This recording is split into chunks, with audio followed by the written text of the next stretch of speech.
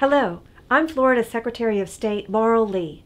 I want to welcome everyone and thank you for joining us at this virtual celebration of the 20th of May, Emancipation in Florida. Today we commemorate and celebrate the historic declaration of the Emancipation Proclamation with a historical overview, a dramatic reading of the document, and a video of the traditional emancipation drumming.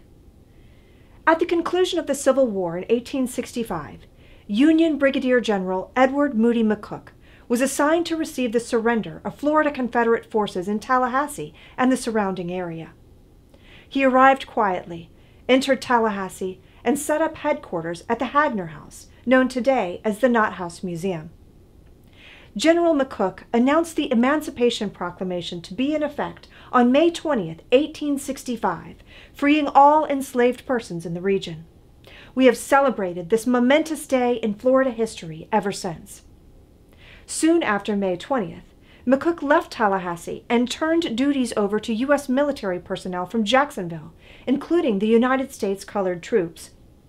Although we wish we were able to gather together to mark this important day, event co-presenters, the Florida Department of State and the John G. Riley Museum, are delighted to share a virtual commemoration of the Emancipation Proclamation's announcement in Florida. We do this in the spirit of celebration of community, history, and freedom, which we hold dear. The 20th of May virtual event would not have been possible without the help of many people. I want to specifically thank the John G. Riley Museum and their director, Dr. Aaron Myers. The John G. Riley Museum has partnered with the Museum of Florida History since 2001 to put this annual celebration together. I want to also thank Mrs. Althemese Barnes.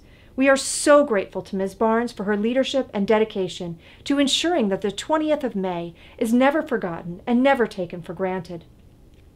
Thank you to Tallahassee Mayor John Dailey, Leon W. Russell, Chairman of the NAACP National Board of Directors, Jarvis Rozier of the United States Colored Troops Living History Association, Brian Bebo, who portrays General McCook, Tim Barber, Executive Director for the Black Archives History and Research Foundation of South Florida, Lanetra Bennett, morning anchor for WCTV Eyewitness News, Dr. Cheryl Howard, President of the African American Heritage Society of Pensacola, and Hunter Hill and the other Emancipation drummers for participating in this year's virtual programming. Thank you so much for helping us celebrate this important day in Florida history. Finally, I would like to recognize B. Cotelis, who's been the Knott House Museum manager since 2004. This will be Mrs. Cotelis's final year working with us, and I would like to thank her for all she has done for the site and for the 20th of May.